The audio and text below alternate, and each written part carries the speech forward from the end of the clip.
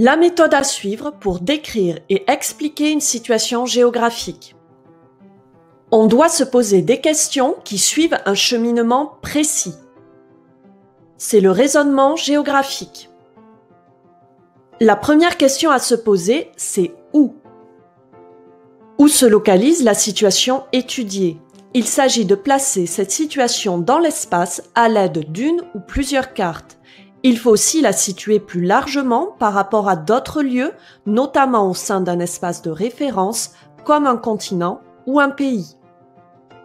Prenons un exemple. Nous étudions l'augmentation des besoins énergétiques du Brésil, pays émergent d'Amérique du Sud.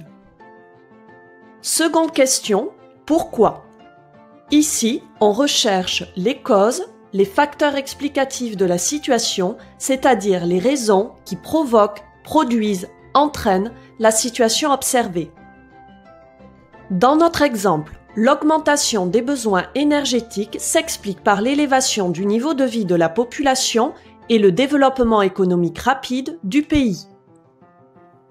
Troisième question, quelles sont les conséquences?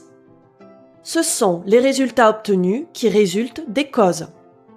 Par exemple, le Brésil doit donc être capable de couvrir ses nouveaux besoins en investissant dans la production énergétique, notamment les énergies renouvelables, en effet, le pays est richement doté en ressources naturelles et il ne veut pas dépendre du pétrole.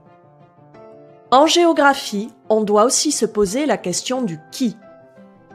Pour cela, il faut présenter les acteurs et les actrices. Ce sont les individus ou groupes d'individus qui agissent sur cet espace. Ils sont impliqués dans la situation géographique étudiée car ils en sont les commanditaires, les personnes impactées par les conséquences, les destinataires, les utilisateurs.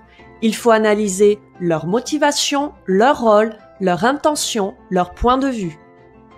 Dans notre exemple, au Brésil, le gouvernement choisit d'investir dans l'énergie hydraulique et fait construire des barrages comme celui de Belo Monte en Amazonie, mais certains Amérindiens contestent ce projet car il les chasserait de leurs terres.